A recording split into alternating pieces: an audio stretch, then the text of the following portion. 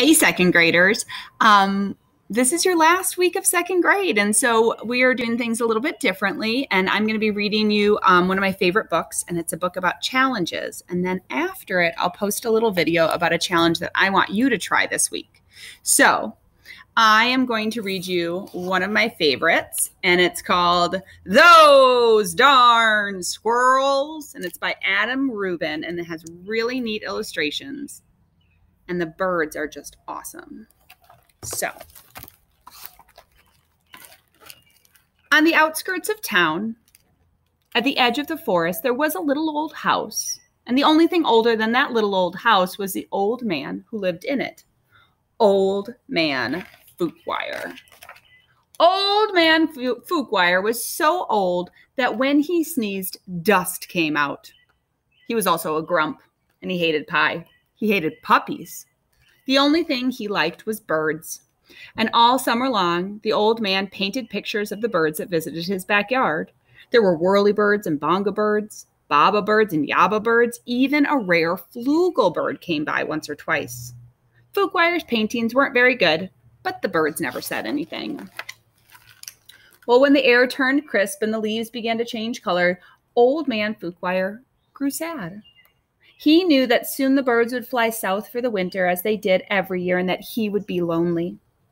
So then he had an idea.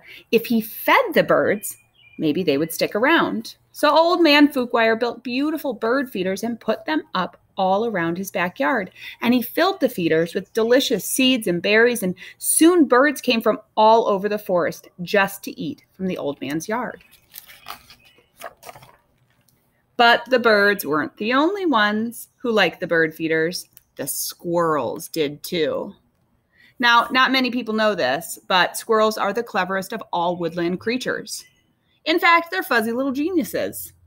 They can make a house out of a tree, a bed out of a bunch of leaves, and a box kite out of twigs, dirt, and squirrel spit. They are also excellent at math. Now, winter was fast approaching, and the squirrels needed to gather as much food as possible. Um, so they had much as they could to get ready, so they decided to take some of the bird food. The birds were not happy, and neither was Old Man Fookwire. And when they discovered what has happened, he shook his old man fist and yelled, Those darn squirrels!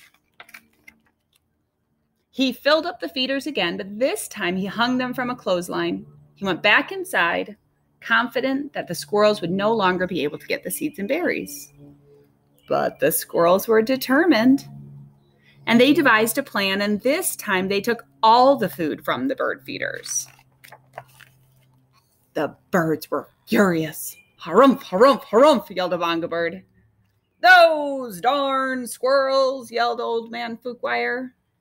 Yum, said the squirrels. Now it was old man Fookwire's turn to devise a plan.